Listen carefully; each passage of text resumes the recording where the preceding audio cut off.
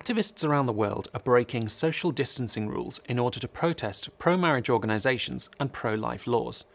In New York, LGBT activists are protesting about a field hospital because of its Christian statement of faith.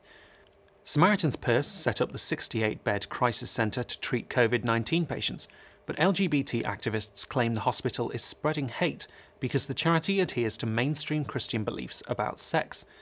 Franklin Graham, who runs the charity, described the criticism as tone deaf at a time when volunteers were risking their lives to provide critical medical care.